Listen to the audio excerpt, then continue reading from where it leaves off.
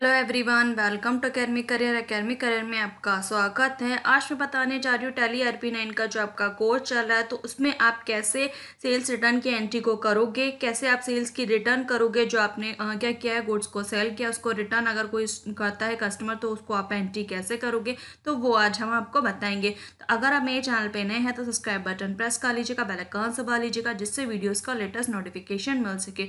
और कोई भी डाउट्स रहेगा तो आप मुझसे कमेंट करके पूछ सकते कोई नया कोर्स आपको लॉन्च करवाना है तो आप मुझसे कमेंट में बताइए।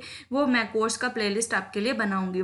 तो चलिए, यहाँ पे मॉल लिमिटेड नाम की एक कंपनी मैंने कॉल रखी यहाँ पे डिस्प्ले में जाते हैं। पहले जो हमने एंट्रीज उसमें कर रखी है, वो हम डिस्प्ले करते हैं।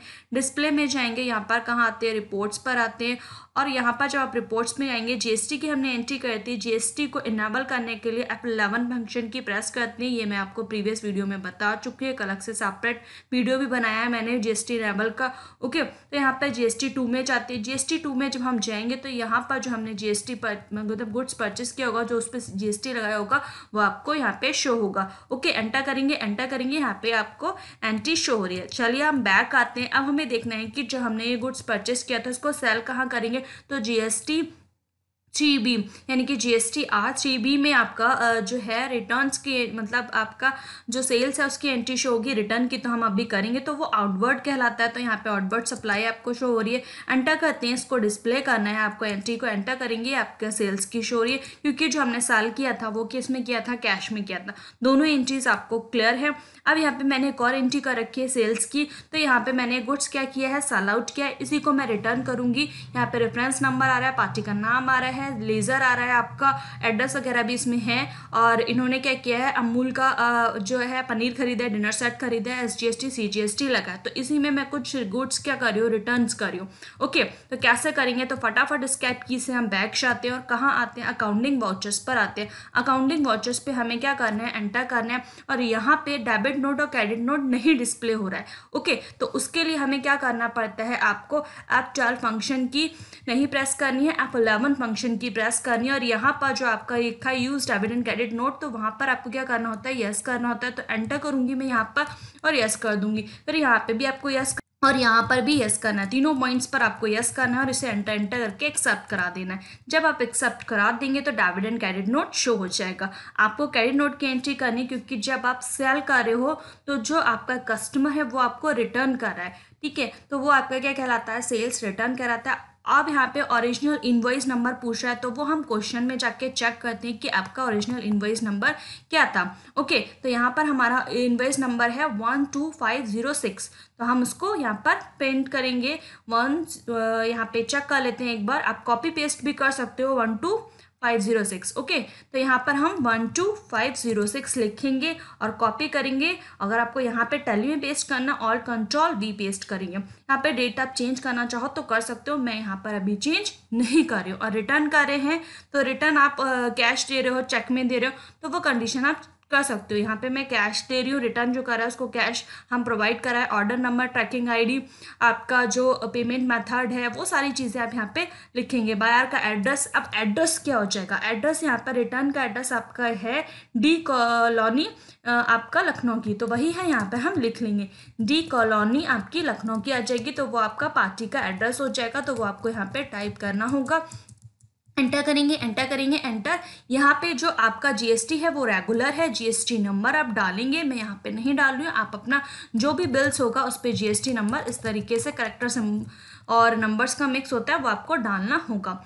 सेल्स यहाँ पर आप क्या कर रहे हो? जो आपने सेल किया, उसी को तो रिटर्न कर रहे हो तो यहाँ पर आपका सेल्स रिटर्न का लेज़र बन जाएगा। यहाँ पर हम सेल्स रिटर्न का लेज़र बना लेते हैं। तो यहाँ पर हमने क्या लिखा? सेल्स रिटर्न लिखेंगे और यहाँ पर लेज़र उसका बना लेंगे। सेल्स रिटर्न लिख दिया एंटर करेंगे एंटर सेल्स हमेशा किसमें जाता है? सेल्स अकाउंट में जाता है। एंटर करेंगे, इसको हम एंटर करेंगे और यहाँ पे नॉट अप्लीकेबल्स रहेगा, यहाँ पे अप्लीकेबल यहाँ पे गुड्स आ जाएगा क्योंकि हम गुड्स का ही जो रिटर्न कर रहे हैं, क्योंकि जो हमने गुड्स परचेस किया है, वही हम क्या करें रिटर्न करें अब यहाँ पे हम चूज़ कर लेते हैं, हमें क्या रिटर्न करना है? तो यहाँ पर अमूल का जो हमने परचेस किया था, उसी को क्या कर रहे हैं? रिटर्न अब इसमें माइनस में वैल्यू इसलिए आ रही है क्योंकि हमने ये परचेस नहीं किया था डायरेक्ट सेल आउट किया था। ओके तो आप पहले परचेस किएगा, फिर उसको सेल कीजिएगा। तो यहाँ पर मैं कर रही हूँ आपका थ्री या फोर पीसेस इसको रिटर्न कर रही हो। अमाउंट आ रहा है, आप इसमें अमाउंट चेंज करना चाहो तो चेंज कर सकते हो। फिर नेक्स्ट हमने क्या खरीदा? डिनर सेट तो डिनर सेट ले लेते हैं। यहाँ पर वन पीसेस आपका यहाँ पे वन पीसेस आ रहा है रिटर्न में।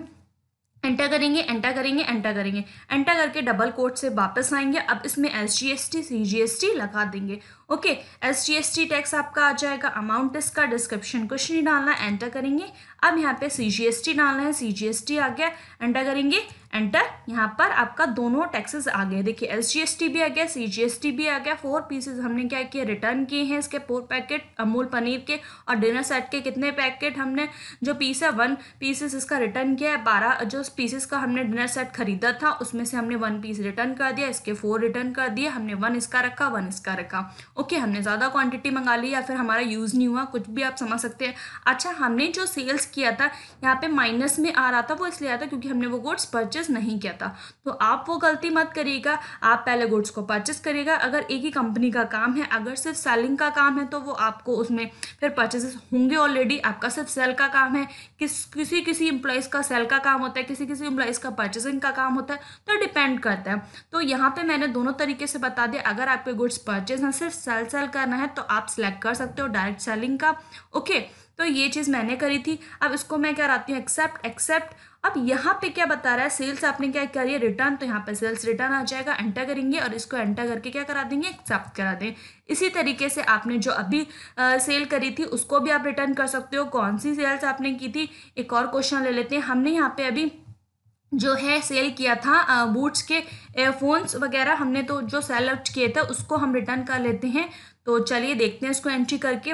अगर हो जाती है zero one two five six answer date वही रहेगी। पार्टी का नेम शर्मा हो गया ओके कैश में अगर आप रिटर्न करो तो कैश में, अगर नाम से करें तो नाम से। Enter enter enter enter enter अब यहाँ पे आपका क्या आ जाएगा? सेल्स रिटर्न क्योंकि आप सेल्स को क्या कर रहे हो? रिटर्न अब क्या कर रहे हैं? जो हमने यहाँ पे पीसेस खरीदे थे, इसमें क्या कर रहे हैं? थ्री पीसेस हमने क्या कर दिए? रिटर्न कर दिए बूट एयरफोन्स के। एंड नेक्स्ट हमारा क्या था? एम आई की L C D M I की एल सी डी वन है तो वन ही हम क्या कर दे रहे हैं इसको?